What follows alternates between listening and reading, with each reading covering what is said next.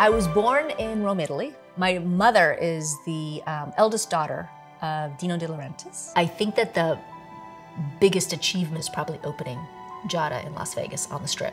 It was the scariest. It was the the biggest risk I think I have ever taken. There weren't, except for maybe one other celebrity female chef, there weren't any on the strip. They were all men. But we got through it, and seven years later, it's still one of the most successful restaurants, and I did it the way that I wanted to do it.